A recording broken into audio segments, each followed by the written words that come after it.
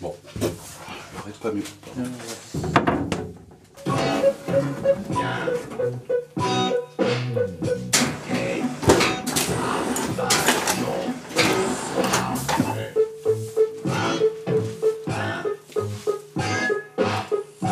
Mais les dessins qu'on fait là, c'est pour la tranche ou pour euh, la C'est pour les deux en fait.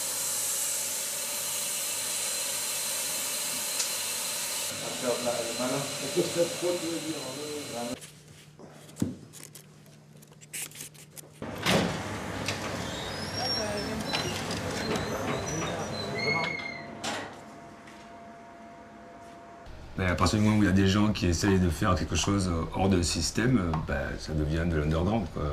Il y a trop de mots qui perdent leur sens parce qu'ils sont trop utilisés. C'est pour ça qu'il ne faut pas qu'il y ait que des mots, qu'il faut qu'il y ait des livres, des images, des disques, des performances, du bruit, des concerts et des films. Et c'est ça l'underground, c'est un, des réseaux, des réseaux euh, qui existent depuis la nuit des temps. euh. et là, en Europe, il y en a beaucoup en ce moment, donc il faut juste qu'ils tiennent. Ce qui m'intéresse, c'est que les choses avancent. Donc là, j'ai l'impression que les choses avancent parce que là, justement, il y a plein de trucs qui se passent partout, euh, parce que ça influence des gens, parce que ça donne une énergie qui change un petit peu la morosité ambiante, quoi. Donc c'est une boîte de pizza marseillaise spéciale Japon qui s'appelle KKK, Kawaii Kancho Kintama. Et après, tout ça a été trituré dans tous les sens dans l'atelier du dernier cri. L'idée, c'est toujours de faire des livres qu'une fois que tu les as dépliés, tu sais plus comment les ranger. Donc quand tu fonctionnes comme ça au coup du cœur euh, avec les éditions, tu peux pas fonctionner avec euh, un système comme ça qui te demande euh, des mois à l'avance ce que tu vas sortir, un texte de présentation sur le livre, alors que nous, souvent les livres se fabriquent là, donc comment ils veulent que je leur donne trois mois avant une couverture euh, avec un résumé de, quoi Un résumé de dessin sale Tu vois, c'est pour ça que c'est pas possible euh, pour travailler, travailler avec un distributeur pour, pour lire l'écrit.